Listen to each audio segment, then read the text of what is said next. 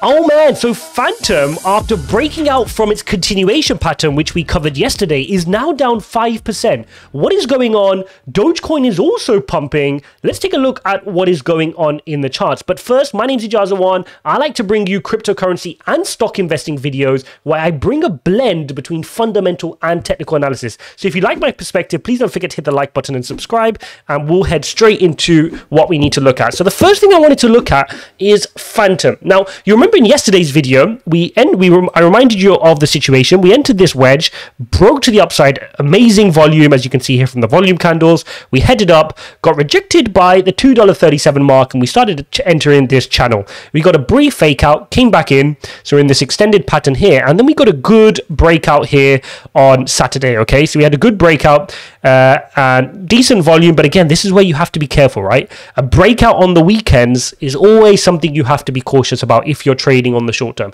If you're long term, it's not an issue, right? You're holding your coins like I am. But on the short term, if you're trading this breakout to your price target, you've got to be careful. Look at the volume here. That volume is nowhere near what we saw in this rally here, okay? So the volume was not impressive on this breakout. And then we've seen since, we've kind of rounded out at about $2.35 and come back down to $2.16. So what is going on here? Now we're going to take a closer look at this chart but I want to look at Bitcoin first. And because the, the, reason is we know all coins are correlated to Bitcoin, and Bitcoin had a little bit of a wobble here over the weekend. So you'll see here on Sunday, this is the wedge that Bitcoin is in at the moment.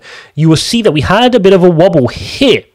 Okay, so you can see here immediately Bitcoin fell from about 61,000 all the way down to a low of 58. Okay, Bitcoin lost $3,000 per coin in just two hourly candles there, but the dip was immediately bought up with three really strong hourly candles, pushing it back to 62,500. But now we're getting a bit of a bleed out, which is very interesting. Now, I know at the time a lot of YouTubers were saying, hang on a second, Bitcoin is down because of whale manipulation and, and leveraging the system. I, I don't believe that to massively be the case. There's always some leverage in the system, but at the moment, the leverage is not massive. We've looked at that previously. I think this is more to do with what we're seeing in El Salvador. Now, if you look, there's some protests going on in El Salvador.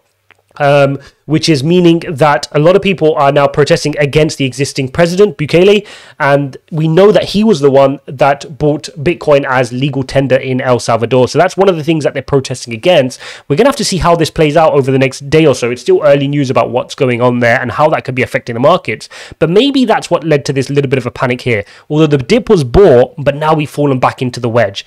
Uh, so, uh, you know, in the short term, this is a little bit bearish in that we enter back in the wedge when we had a price target to go in it. You know, we thought we had a good solid breakout here and we could go out. But all of this is weekend volume, okay? So we're going to have to wait for markets to really get wake up and open. We, have had Asia and Europe is now open.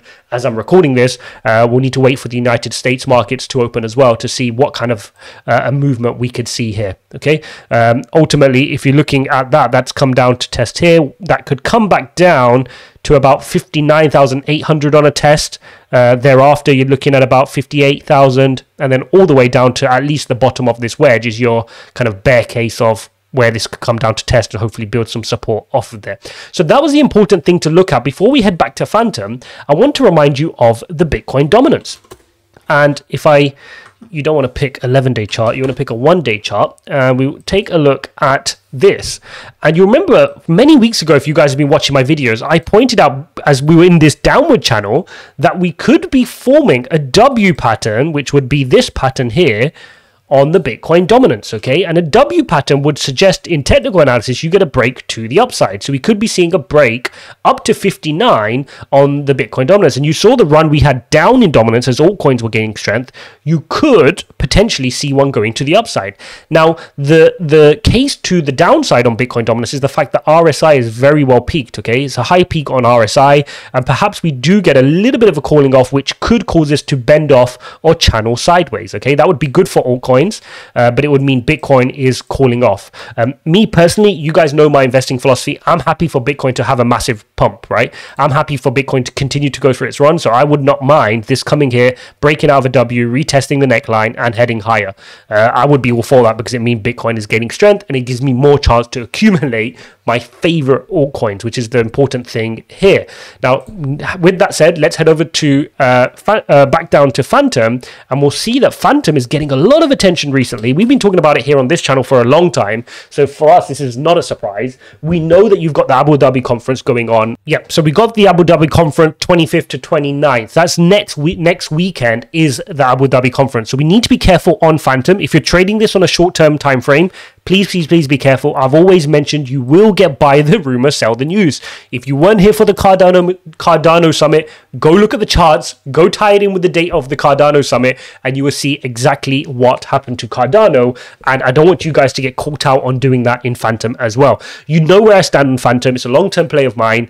Uh, I've made a fundamental thesis on that video. Go check that out. Watch that video um, and you understand why I'm so bullish on Fantom in terms of total value locked and how much adoption and use cases they are building out. So it's a great layer one blockchain uh, Fantom. So coming back to the technicals on Fantom, we had this wedge, broke to the upside, entered the downward channel, and we broke out of the wedge, right? Now, because of Bitcoin's wobble, which is what I took some time to just explain there, we've ended up rounding out and coming back down. Now, it looks like we're getting a bit of a support here at $2.16 but we'll have to wait to confirm if that holds. Okay, so at the moment you can see it's battling here at this, which is this high here. Now, if we lose that, you could be coming down to test uh, the yellow uh, support line here. Okay, so what we're looking for is either come back down here and test.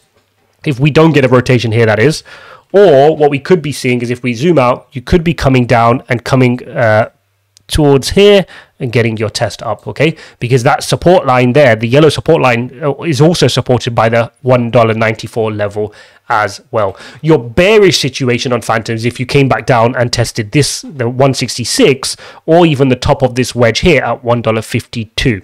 Okay, so that's your bearish situation. So if we bring out the EMA ribbon, you can see we're just testing that EMA ribbon and fighting here. So if we flip bearish on the hourly, uh, that's when I'd see us coming back down to testing these levels, which I explained. If we can hold this and get a good bounce and the EMA acts as support, we could be rotating you know, at, at, the time of kind of uploading this video. So it's one of the two situations, and we need to be prepared of which one it is. But zooming back out to the daily, you'll see this is exactly why you know if you have a long-term horizon on these types of coins, you're not bothered at all uh, because you can see from here uh, you know, we, we extended from the EMA ribbon, we've come down. If you call this a retest, we've not even touched the EMA ribbon, right? So you've had a bit of a consolidation down. Normally, if you've had a tear like this, you come back down, you can even penetrate the EMA ribbon and then head higher.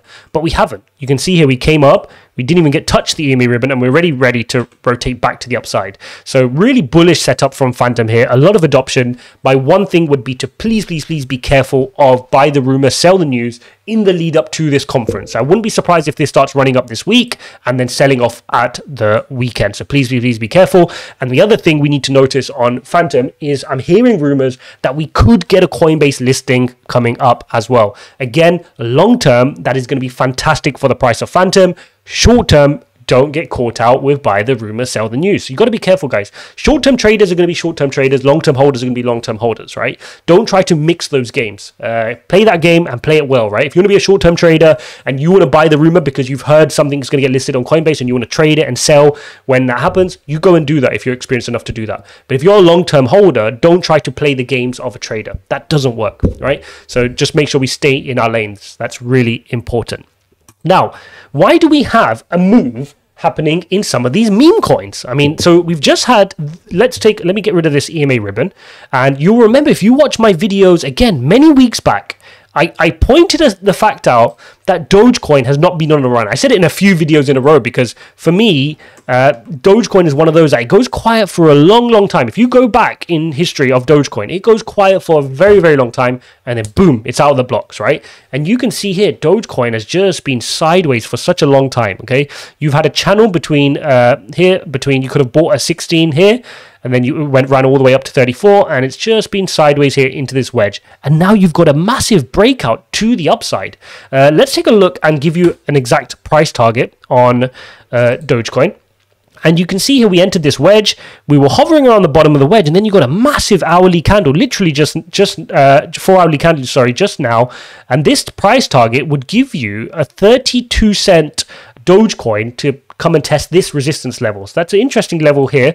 Uh, we can even draw that in because that acts as a bit of a resistance and it ties in with your price target as well. So anything around that kind of line, 31, 32 cents is your price target on Dogecoin. But because it's come straight from the bottom of the wedge to the top of the wedge, do not be surprised if you see a little bit of a retest, come back down, and then head higher, right? That's what you'd want to see here. Now, if this is a fake out, please be careful, traders. This could end up straight back in and you can head back up into your wedge, okay? So you want to see, if you were trading this, which I'm not trading this right now, but if you were trading this, you wait for the breakout, you apply part of your fund. So let's say you're allocated $100, for instance. You will put, let's say, 50. You'll wait for it to retest, load and bounce. On the bounce, you put in your other 50 and you carry on riding with your stop loss, uh, giving it room to ride. Okay. So that's really important there on Dogecoin. Now, if we look at the hourly chart, yeah, you can see here it's just really strong, three strong hourly candles, and it doesn't seem to be letting up just yet. I mean, uh, volume has really kicked in. RSI is super redlining right now, but this is what Dogecoin is capable of. When Dogecoin chooses to move, it would just move. Uh, and I think right now we're in a bit of a weird situation right now because you can see from the crypto fit and greed index, we're extreme greed. Uh, Bitcoin's doing really well. Everybody that's ever bought Bitcoin pretty much right now is in the green, and therefore people start taking more risks. Right, FOMO is going to increase. Your taxi drivers and your uh, your restaurant workers will suddenly start uh, thinking and talking about Bitcoin. You'll be hearing about Bitcoin everywhere. And that's where we just need to be a little bit coy, right? We need to be a little bit smart with our strategies. Just recheck, recheck our portfolios. Make sure we haven't got any silly coins in there and start to understand what we're doing here because right now you're in you're, coming towards um, you know coming down into a bitcoin season and when bitcoin runs uh, people start feeling very wealthy there's a lot of fomo uh, and we're not anywhere near bitcoin season yet right it's, i mean we've rotated down and we're heading there uh, but imagine when you get down here how much bitcoin can run so there's a lot of legs yet left yet you can see still see we're sat right in the middle between altcoin and bitcoin season which is what this is showing it's been a big strong bitcoin month which we understand but overall, it's still been an altcoin year. So Bitcoin still got to run uh, and it's still got a, a, big pump left in it. And as it does so, you will see, and this is just the last 24 hours, you're seeing two coins up here. You're seeing Dogecoin and Shiba as two of the big coins that have pumped. And that always gives you a clue when the meme coins start running that people are starting to feel good about the market. They're feeling confident. You start getting some inexperienced traders come in, a little bit more retail money, or people that, you know, aren't really in crypto during the bear markets coming in now because their friend told them they made a quick buck on Shiba Inu or Dogecoin, which is fine. I have no issue with that. You guys know that. I'm all pro you buying some Doge and buying some Shiba. That's not an issue at all. We just need to be careful in terms of our wider portfolio management and understanding how we're going to trade this market because uh, these are all indicators which we need to understand. So for Dogecoin, uh, I could easily see this coming up to 32 cents if we get a clear breakout and some momentum, and even head up to 34. Uh, just remember, when Dogecoin moves, it really does move. And if I head over to the daily on Dogecoin, uh, let's zoom out a little bit just to show you the last time you know this you had this run is phenomenal. I mean this first run here but you're talking you're running from 5 cents all the way up here to 45 cents. So when dogecoin chooses to move it really will move. Uh, so this is an interesting move from dogecoin. And i was suspicious that it hadn't moved for a very long time so there you have it, guys. That's what we have today in the market. Uh, go check out my Algorand and COTI video if you haven't watched that yet. But you've got Fantom cooling off a little bit due to the wider issue with Bitcoin having its little dump and dip buying back up. We'll have to monitor what's happening with Bitcoin because we've seen a few red hourly candlesticks seems to be bleeding back into that wedge, it's sitting at 60,000 at the time of closing this video. So we need to watch that because obviously if Bitcoin bleeds, the rest of the alts will continue to bleed. But again, my strategy doesn't change right? You find your favorite plays, your high conviction plays, you get as much fiat currency into your favorite high conviction plays, and if they dip lower, you continue to nibble, nibble, nibble uh, until you've got a position that you're happy with. So it's really important that you have conviction because all coins can drop rapidly. If Bitcoin drops 5 to 10%, all coins can move just as quickly, if not more, right? That's why they're all coins. Uh, so you need to only be in plays you believe in. Um, and that's really important. Hope you enjoyed this video, guys. If you like my perspective, then please don't forget to hit the like button, like button, like button, and subscribe. And I'll see you in the next one.